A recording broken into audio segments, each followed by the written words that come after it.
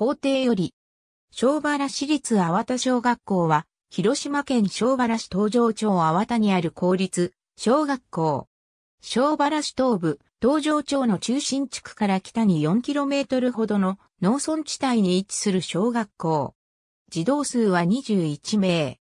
1934年に起きた新流湖遊覧船沈没事故では、当校の卒業遠足の1行42名が乗船した遊覧船が沈没、児童12名と引率教諭2名が犠牲となった。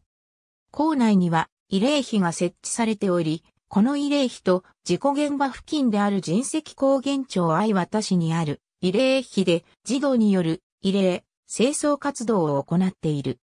1873年に共生者として創立。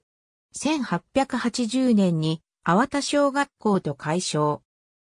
1880年に粟田尋常小学校、1891年に粟田尋常高等小学校と改称した後、1915年に粟田1441番地へ移転。国民学校令により、粟田国民学校となり、第二次大戦敗戦後の学生改革により、タモリ村立粟田小学校となった。1955年にタモリ村が周辺の町村と合併し東城町となったことで、東城町立粟田小学校と改称。1961年に現在地に校舎を移転。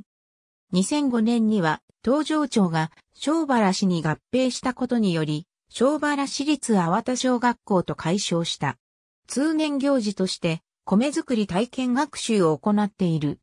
収穫した米は、東校周辺で採れる山菜などとともに、食育の一環として給食に使用している。学区は東西 5km、南北 8km の山間部に広がる。